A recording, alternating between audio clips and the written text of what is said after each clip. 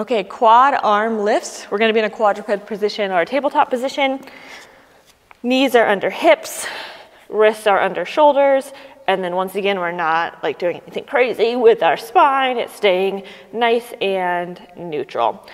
We are going to lift one shoulder up in a neutral position. So your thumb is going to lead. Your hand is going to be like you're shaking someone's hand. Reach long, lift up, and then down. Lift, reach long, lift up, and down. We are pressing into the ground with our non-moving hand to stay stable. And